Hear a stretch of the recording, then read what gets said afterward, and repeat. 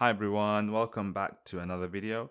This is a question from City of London School for Girls, question number 48. And this is a one that looks quite similar to the ones we see on social media sometimes and, and maybe get passed on from WhatsApp and so forth, right? And it's it's where you got shapes and they're added together or multiplied and equal to something. But the only difference here is that you don't have any numbers here, okay? No numbers at all. But it's asking you to work out the value of the triangle. So how do we go about doing that? Let's go and see. So we've got a circle plus a triangle equals a square. A square add a square equals a hexagon. A circle add a circle add a, another triangle equals a hexagon as well. So we've got to work out the value of a triangle. How do we do that? Right? How what are we going to do? Okay, so let's not panic and let's go through it systematically like we normally do. So we've got a circle, add a triangle, and that gives us a square.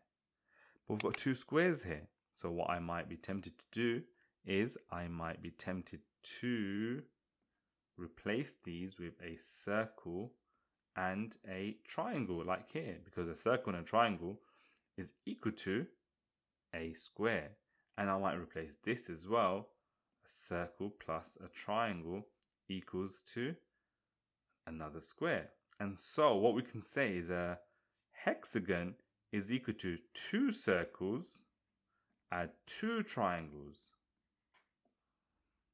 But that doesn't make sense because here we've got two circles and one triangle. And that's also equal to a hexagon. And we have no numbers to help us out. So what does that mean? How can two circles and a triangle equal to two circles and two triangles.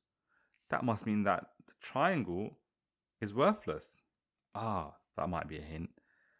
The triangles might have to be zero.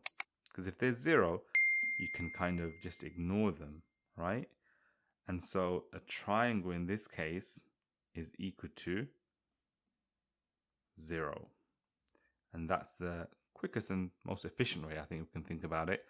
Let us know if there's a better way to think about it, or if you've got a different answer, let us know what you have.